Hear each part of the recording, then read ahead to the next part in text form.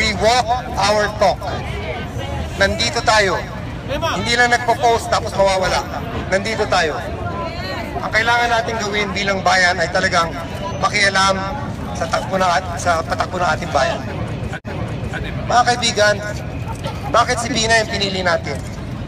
He is the leading candidate. He could very well be the President of the Philippines. I think he owes us a lot of explanation.